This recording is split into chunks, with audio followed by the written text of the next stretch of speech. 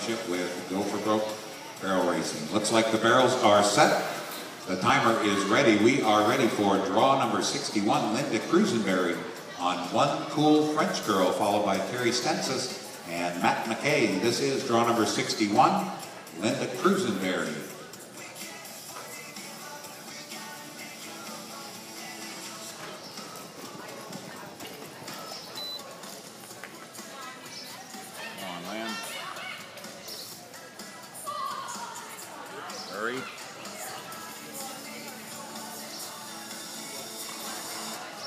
Nice. Linda's time is a 16.785. One